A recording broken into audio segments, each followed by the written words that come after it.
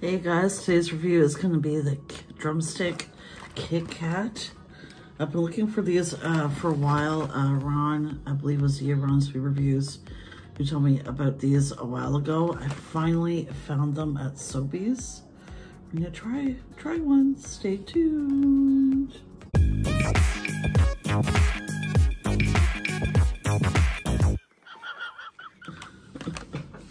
Look at that, guys. Now again, well, this does look good. Again, it just seems to be it's a little smaller than they used to be. You know what I mean?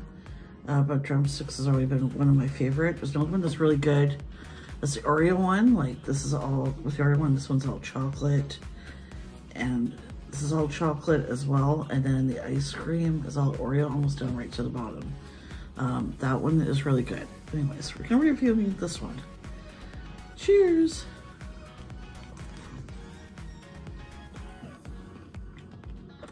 Mm. Okay.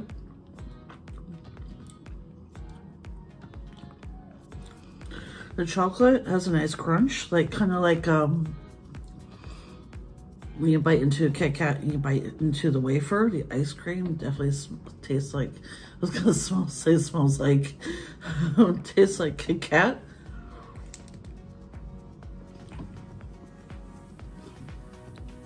Mm. It's actually not too sweet. So far it tastes like what it's supposed to taste like.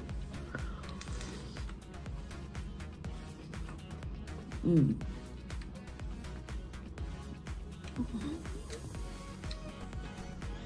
You guys can see there, um, drumsticks, you know, they have the little caramel or chocolate or what have you in the middle. One more bite, and I'm gonna give you guys my rating here. Perfect for summer, of course. nope. See more the chocolate there in the middle. Mmm. I one more bite. um, you know, I like it's not too sweet. It tastes exactly like a classic Kit Kat, guys. You guys gotta try this. Um, if you love Kit Kat, the classic Kit Kat chocolate bar, you guys are gonna love this. It tastes exactly like a Kit Kat, and it's not too sweet. You know, I mean, that's my concern with, um, you know, some of these products that can be really way too sweet, but this is just perfect.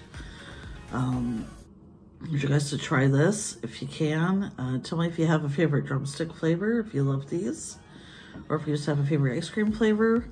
Um, thank you guys so much for watching, and don't forget to like, share, subscribe, and hit that bell. Oh, I forgot to review it. Almost. five out of five. Again, thank you guys for watching. And don't forget to like, share, subscribe, and hit that bell. Bye, everybody.